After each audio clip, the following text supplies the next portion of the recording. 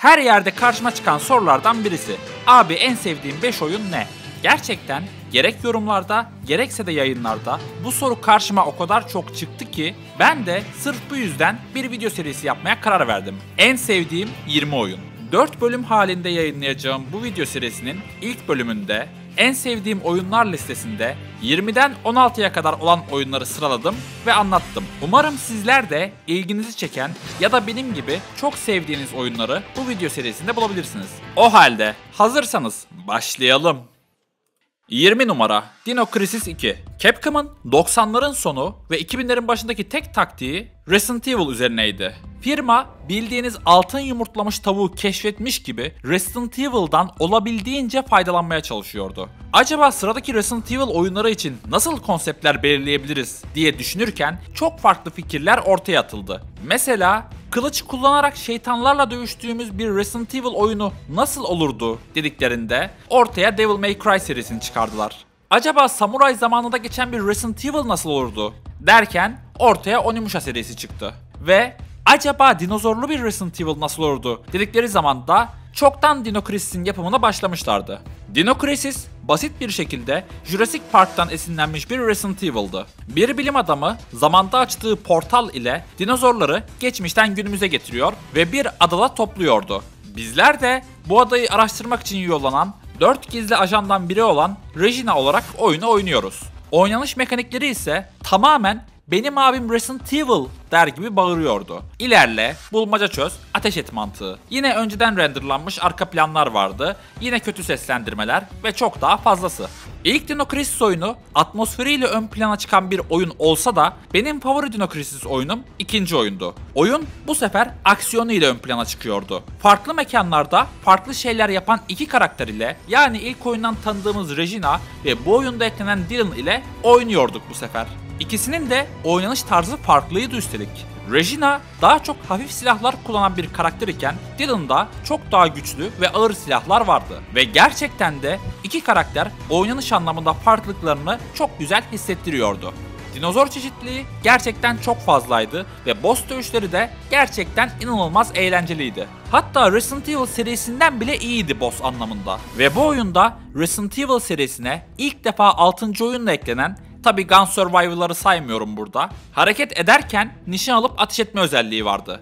Yani Dino Crisis 2'nin ne kadar iyi bir aksiyon oyunu olduğunu siz hesap edin. Son olarak bir parantezi de oyunun sonunu açmak istiyorum. Benimle aynı jenerasyondan olan pek çok oyuncunun gözlerinin pıt pıt yaşlanmasını sağlayan ilk oyunda yine Dino Crisis 2 idi. Oyunun sonu o zamanlar oldukça etkilemişti. Tabi şimdi izlesem muhtemelen gülmekten yerlere yatarım orası ayrı.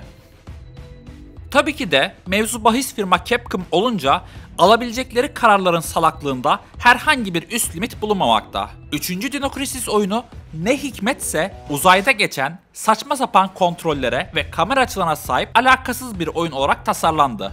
Ve artık hangi akılla böyle bir şey yaptılar bilmiyorum. Ancak Dino Crisis 1 ve Dino Crisis 2 PlayStation ile özdeşleşmiş oyunlarken Dino Crisis 3 sadece Xbox'a çıktı. Oyun hem kötüydü hem de sadece Xbox'a çıkınca yerden yere vuruldu ve neredeyse hiç satamadı. Tüm zamanların en kötü devam oyunları arasında gösterildi. Capcom da haliyle serinin devamını getiremedi. Umalım ki Capcom'ın yaptığı şu remake furyasında Dino Crisis 2'nin şöyle güzel bir remake'ini yaparlar. Neticede oyunun aksiyonlu yapısı günümüzdeki oyuncu kitlesine de fazlasıyla uymakta. İnşallah gelir. 19 numara Onimusha 2 Samurai's Destiny Tıpkı Dino Crisis gibi Onimusha serisi de yeni bir Resident Evil oyunu nasıl olsun diye düşünülürken kazara ortaya çıkmış bir seriydi. Oyunun adı bile en başta Sengoku Biohazard olacaktı. O derece. İlk 3 Resident Evil oyunu gibi ilk Onimusha oyunu da PlayStation'a özel olarak geliştirilmekteydi. Fakat oyunun %50'si tamamlanmışken geliştirici ekip PlayStation 2'nin teknik özelliklerini görür.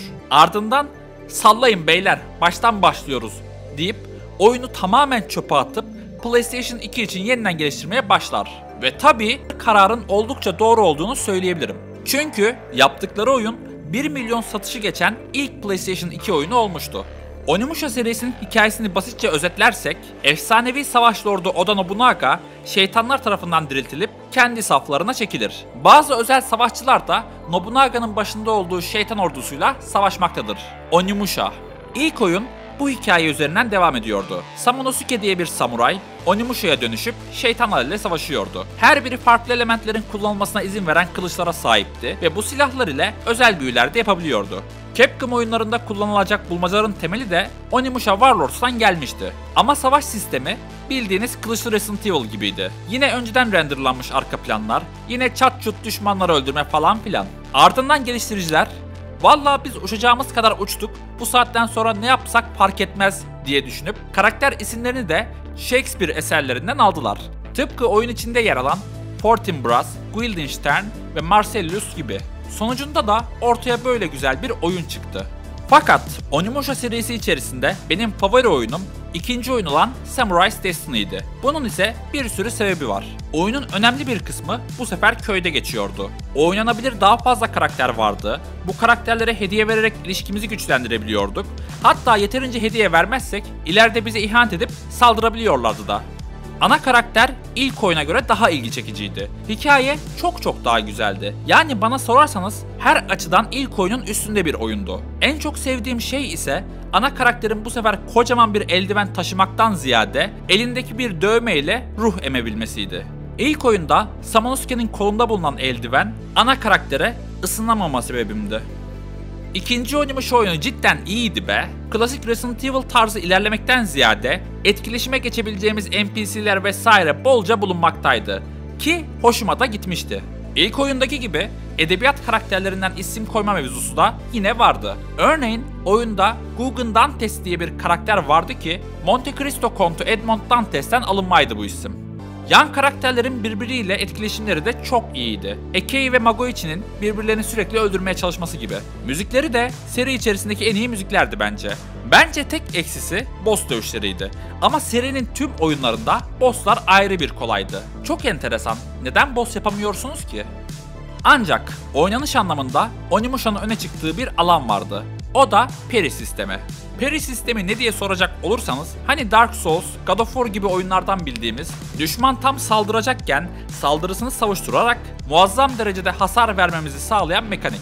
Peri mekaniğini ilk kullanan oyun Onimusha değildi. Ancak mükemmel bir hale getirip video oyunlarında yaygınlaşmasını sağlayan oyun Onimusha'ydı diyebiliriz. Isen adının verildiği bu sistem ile tek vuruşta düşmanları bildiğiniz doğruyorduk. Oynanış anlamında müthiş bir derinlik katmaktaydı bu olay. İkinci oyun bu issen yani peri mekaniğini daha da ileriye götürdü ve aynı anda birden fazla düşmana karşı saldırı yapmamızı mümkün kıldı. Onimusha serisi sürpriz bir şekilde Capcom'un batıramadığı oyun serilerinden birisi. Seri bence her oyunda daha da güzelleşti. Hele hele 3. oyunun konusunu size anlatsam yuh dersiniz. İlk oyunun ana karakteri Samanosuke açılan bir portal ile 2004 yılı Fransa'sına ışınlanır. Portalın diğer tarafındaki Fransa'dan da Jack Blank adında bir asker 1582 Japonya'sına gider. İki farklı zaman ve mekanda bu iki karakter ile şeytanlara karşı savaşırız. Hatta Fransız karakterin aktörü de Leon, Sevginin Gücü filminin başrolü olan Jean Reno. Dördüncü oyun ise bu sefer masaya 5 farklı karakter koymuştu. Üstelik her bir karakteri de bulmacaları çözmek için kullanmalıydık. Mesela karakterlerden birisi ruhlarıyla iletişim kuruyordu. Bir diğeri de dar yerlerden geçebiliyordu. Capcom oldukça güzel bir oyun yapmasına rağmen seri her oyunda kendini geliştirse de ne yazık ki satamadığı için rafa kaldırıldı. Umarım Capcom 5. bir Onimusha oyunu ile şansını tekrar dener. Souls-like bir Onimusha oyunu gelse hiç fena olmazdı hani. 18 numara Eternal Darkness. Daha önceden bilinmeyen efsanevi korku oyunu adlı videomda bahsettiğim oyun. Eternal Darkness. Eski Resident Evil oyunlarına benzeyip de onlardan iyi olabilen tek oyun bana sorarsanız Eternal Darkness. Kuloğlu mitosunu referans alan oyunlar arasında da en iyisi. Farklı zamanlarda tam 12 farklı oynanabilir karakterle oynadığımız ve atalarımızın geçmişte yaşadıklarından ilham alarak çözebildiğimiz bulmacalarıyla mükemmel bir oynanış derinliği vardı bu oyunda. Oyunda akıl sağlığınızın düşmesine bağlı olarak yaşayabildiğiniz oldukça farklı olaylar da mevcuttu. Oyunun save dosyanızı siler gibi yapması, oyunun sesinin kısılması ya da karakterinizin ölmüş gibi gösterilmesi gibi. Silah ve oynanış anlamında da klasik Resident Evil tarzının üstüne apayrı bir deneyim sunmaktaydı Eternal Darkness. Tabancalar, kılıçlar, gürüzler, oklar, tüfekler ve bomba atarlar kullanabiliyorduk. Ve Resident Evil'dan farklı olarak düşmanların uzuvlarına spesifik olarak nişan alabiliyorduk tüm bu silahlarla. Ayrıca oyunda büyü craftlama sistemi de mevcuttu. Topladığımız sözcükleri birleştirerek bir dünya büyü üretmemiz mümkündü. Ürettiğimiz büyüleri ise eşyalar ile birleştirerek özel güçler de verebiliyorduk. Hatta ve de hatta bu büyüler ile bulmacaları çözmek oyunun yoğunlaştığı noktalardan birisiydi. Örnek vermek için oyunun başında üst katın kapısını açmaya çalışırken anahtarı yanlışlıkla kırıyoruz. Ardından geçmişteki atalarımızdan birisinin kırık eşyaları nasıl büyüyle birleştiğini öğreniyoruz. Biz de günümüze döndüğümüzde bu büyüyle anahtarı tamir edip kapıyı direkt açıyoruz. Bunun gibi enstantaneler oyunun ne kadar iyi tasarlandığını gösteriyor bana sorarsanız. Oyunun hikayesine de ayrı bir parantez açmak istiyorum bu arada. Bu oyuna özel olarak yaratılmış bir mitoloji var. Chaturga, Mantorok gibi sadece Eternal Darkness için tasarlanmış eski tanrılar bulunmakta. Ve işin en iyi yanı da bu eski tanrılar doğrudan hikayenin ana aktörleri. Peki böyle bir şey nasıl olabilir? Şöyle ki oyunun başında bir Romalı yüzbaşı olarak oynuyoruz ve bizden bir nesne seçmemiz isteniyor. 3 adet nesne var ve her biri farklı bir eski tanrıyı temsil ediyor. Hangi nesneyi seçersek yüzbaşı o tanrının hizmetkarı oluyor ve oyunun ana kötüsü haline dönüşüyor. Oyunda bizi nelerin zorlayacağı da buradaki tanrı seçimine bağlı bu arada. Düşmanların size ne tür hasar vereceği ve oyunda ana düşmanımız olacak eski tanrı doğrudan bu seçime bağlı. Oyunun sonuna geldiğimizde ise evreni yok etmek isteyen eski tanrının düşmanı olan başka bir eski tanrıyı çağırıyoruz ve bu sefer eski tanrıların dövüşünü izliyoruz. Çağırdığımız eski tanrı düşmanını yeniyor.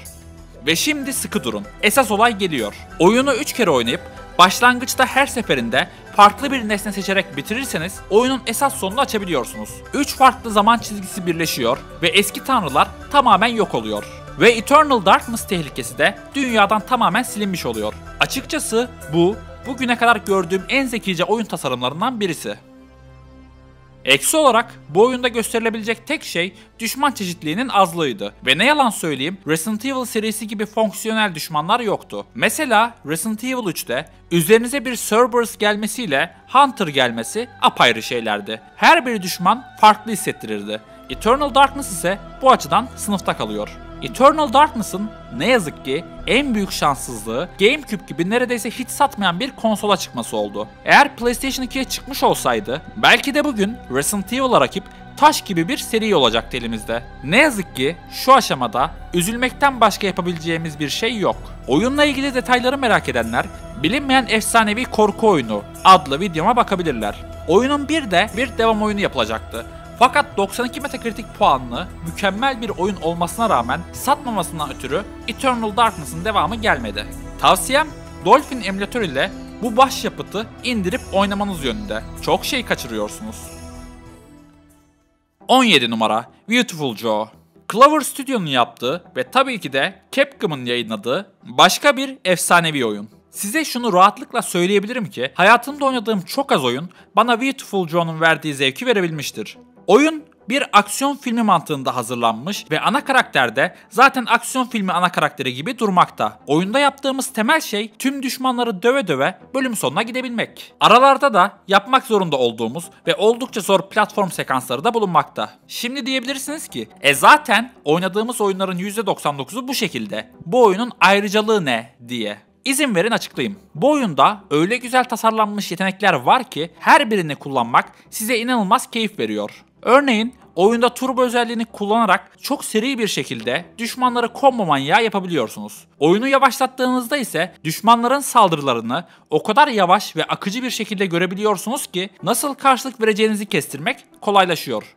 Örnek vermek için mesela diyelim ki üzerinize yollanan bir roket var. Ağır çekim sayesinde rahatlıkla bu roketi geri gönderebiliyorsunuz. Dahası oyundaki bulmacaların çözümü için de bu yeteneklerinizi bolca kullanmak zorundasınız. Üstelik zoom yapmak gibi filmler ile alakalı pek çok farklı yeteneğiniz var. Biriktirdiğiniz puanlar ile yeni yetenekler açabilmeniz de mümkün. Tüm oyun bir film seti olarak ilerlemekte. Düşman çeşitliliği gerçekten çok fazla. Mekanlar çok güzel. Ve her şeyden önemlisi boss dövüşleri akıl almaz derecede zor.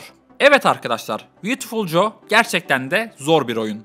Fakat kesinlikle oyunun sizi eğlendirme katsayısı tilt etme seviyesinden çok daha yüksek. Bu oyunun Metacritic puanı 93 olduğu halde ne hikmetse satamayan oyunlar kervanına katıldı. Tabi bu oyunun az satma sebebi 18 numaradaki Eternal Darkness ile aynı. Sadece GameCube'e özel olarak çıkması. Neyse ki geliştirici azıcık akıllanıp sonradan PlayStation 2'ye de getirdi. Fakat o da pek bir işe yaramadı. Serinin devam oyunu da muhteşemdi. Fakat o da satamadı. Bu arada bu firmanın başka bir başyapıtı daha var. Okami. Okami tüm zamanların en iyi ve en sanatsal oyunları arasında gösterilmesine rağmen yine satamadı. Ve böylece Clover Studio tüm zamanların en bahtsız oyun geliştiricisi olarak batmak zorunda kaldı. Fakat durun, hemen öyle üzülmeyin. Batan Clover Studio'nun çalışanları daha sonradan Platinum Games'i kurdu. Burada da Nier Automata ve Bayonetta gibi muhteşem oyunlara imza atmaya devam ettiler. Ve gelecekte de kaliteli oyunlar üretmeye devam edecekler. Tavsiyem Beautiful Joy'u emülatör kurup deneyin. Ne kadar eğlendiğinize inanamayacaksınız.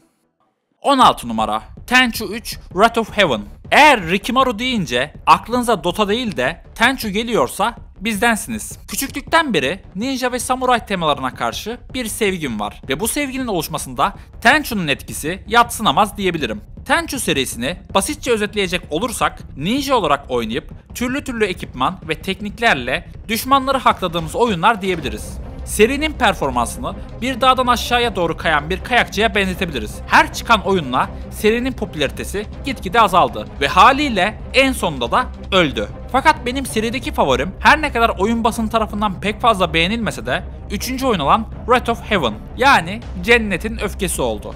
Oyunu çok sevmemin sebepleri neler peki? Öncelikle tamamen farklı oynanış mekaniklerine sahip 3 farklı ninjayı kontrol ediyoruz bu oyunda.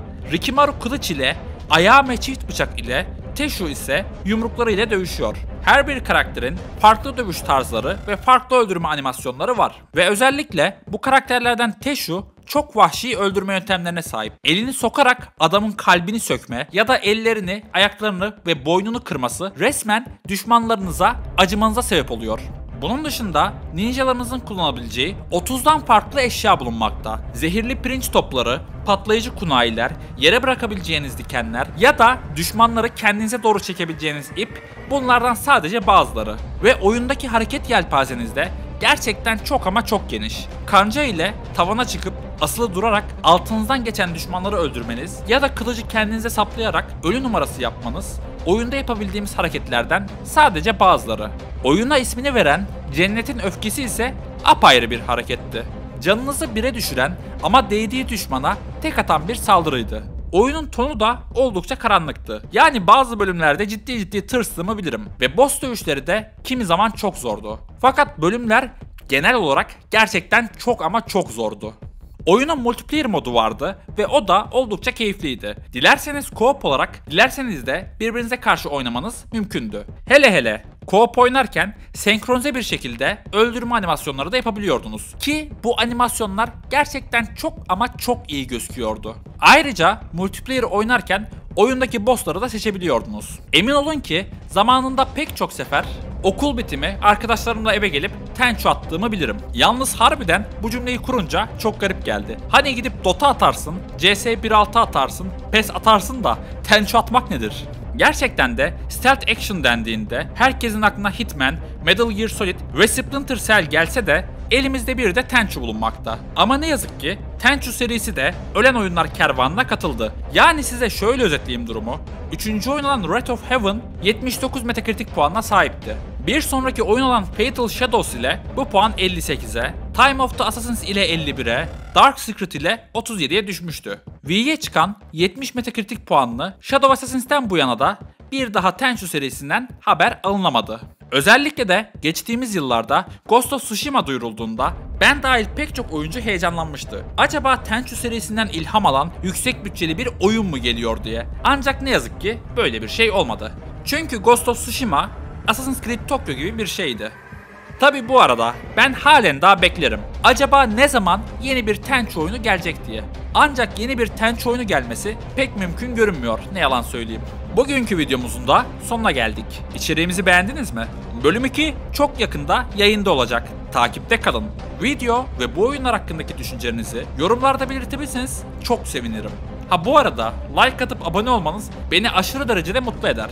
Başka videolarda görüşmek üzere. Hoşçakalın.